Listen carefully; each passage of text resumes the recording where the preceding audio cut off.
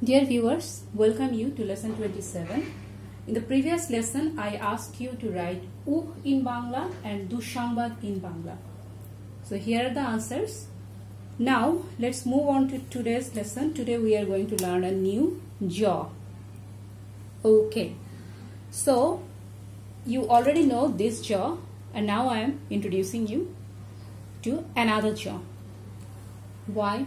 Well, in English they have three jaws. So in Bangla we have only two jaws, and these two jaw you will find it less complicated because we don't have any difference between the pronunciation. Both are. This is also jaw.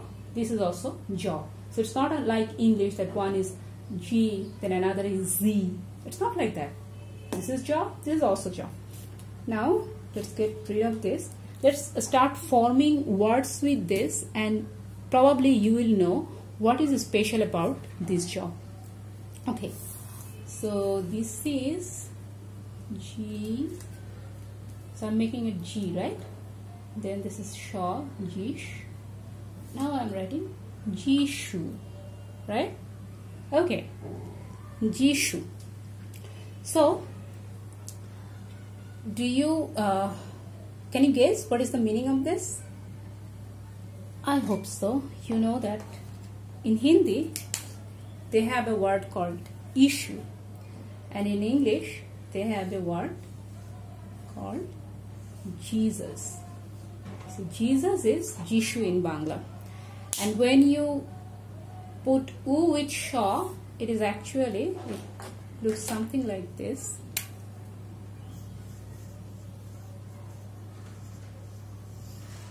something like this okay so when this u joins with this. Okay.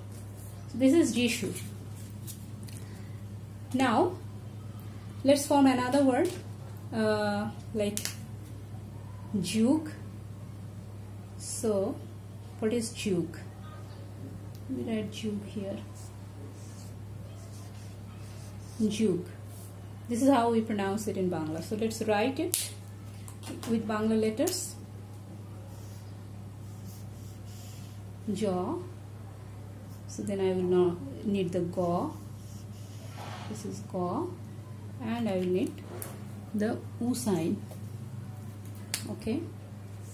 Here is the u sign so juke. In Hindi they pronounce it as probably they pronounce it as yuk in Hindi, they pronounce the Jesus as Yeshu. Maybe Yeshu, right? So,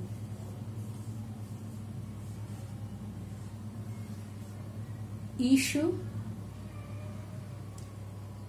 Maybe this is how we can translate it. This, this is Jishu is Ishu in Hindi. Juk is Yug in Hindi. Uh, please correct me if I'm wrong because I'm not a Hindi teacher, okay? I'm a Bangla teacher and I'm guessing as far as I know and as far as I have heard, these are the Hindi version of these words. And then there is another word called yoga. Okay, that is the Hindi word yoga. It has also become an English word now. So what is the Bangla for yoga? Jog. Okay. So how will we write this? We will take this jaw and then we will this jaw here and as this is joke so we will put this O sign here, jog. So the yoga is jog in Bangla and this is how we write jog in with Bangla letters like this. So jishu, jug, jog, all these are written in this way.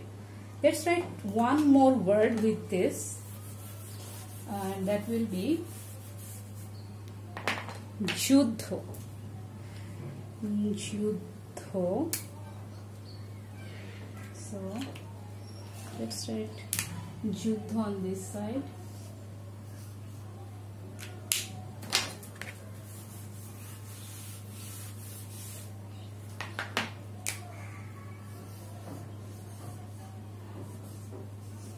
Juddha. So how will we write this Juddha? We will need this jaw. Then we will need the. Okay. Do we have this here? I think we have. Let's use this first. So jaw and then the and together they are consonant cluster. So we can combine this. So it can be like this.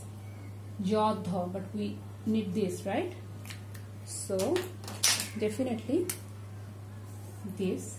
So judho. This should be like this, but probably you remember that it should not be this long. When they are combined they take one letter space. So this will not be this long. So what to do when we combine this? Let's see how will we combine this. So we will write the da like this. So half of the space we will use then the dha but we don't have much space to do this thingy on the top. So what we will do, we will just take it on the side and we will do like this. So this is how it looks when da and dha becomes combined. Will you remember? So this is equal to this. Okay. So judho. Good. Now maybe this is youth in Hindi. Is it so? If there is any Hindi speaker, please correct me. Maybe it's like this, youth. And in Bangla, this is Juddho. About Bangla, I am sure. Juddho, Jug, Jog, Jishu. Oh, I should write the pronunciation of this. Jishu. Oh, someone might uh, ask me that why am I using the long E for Jishu? Because Jishu is a foreign word but you know we are not writing it the way it is pronounced in uh, pronounced it in um, Hindi or in English or in Greek. So in English they said Jesus, but when we are Banglafying this word, we are making a new word. So we are saying Jishu. So now it's our word, right? So if it's our word, we can pronounce it in our style. So that's why, and it's also traditional. For many years, people are using this long umbrella with Jishu. So that's why uh, you don't need to think that this is a foreign word, so we will use short umbrella. No. Jesus is a foreign word, but Jishu is not a foreign word. This is Banglified.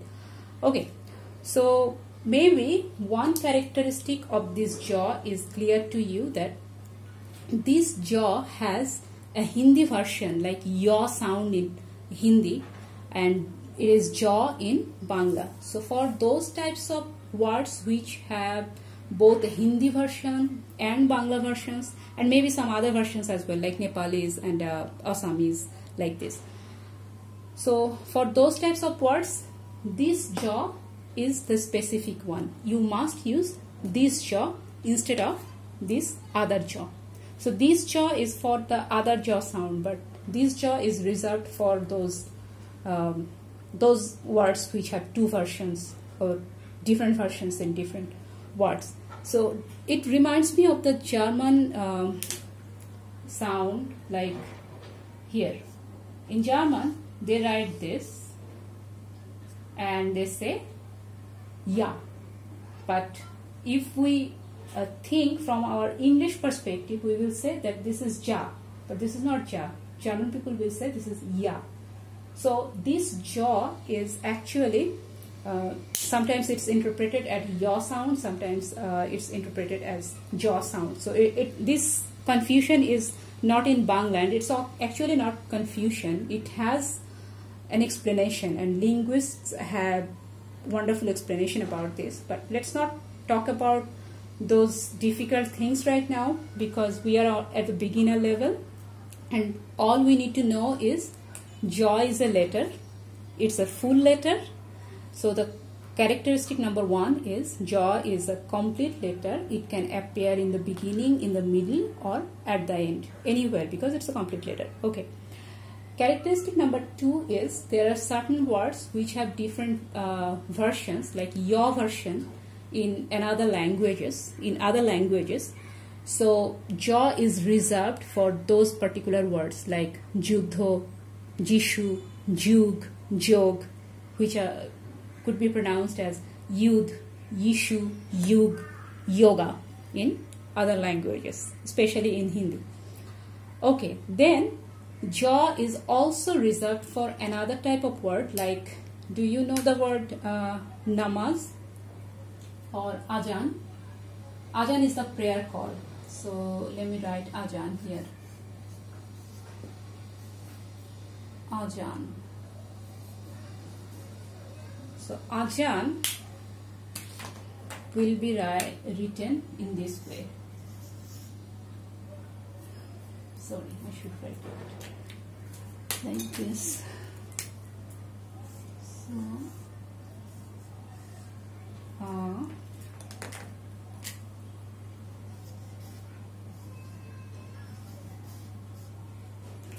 I'm missing this A sound. I'm putting the long uh, 2A just to assure that this is A sound. I can put 1A as well. No, no difference at all.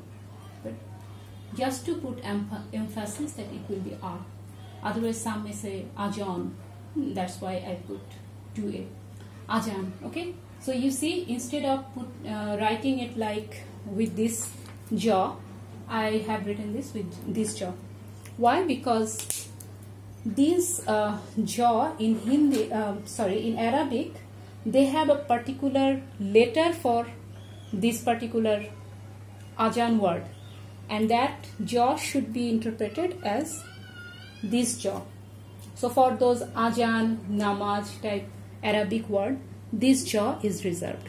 So this is the characteristic number three that for certain Arabic words this jaw is used. Okay. Then there are some other Bangla words like Jodi, Jokhon. I, I will give you the letters, um, give you the words later. But there are certain Bangla words which take this jaw. And how will you master those words? By reading a lot, of course.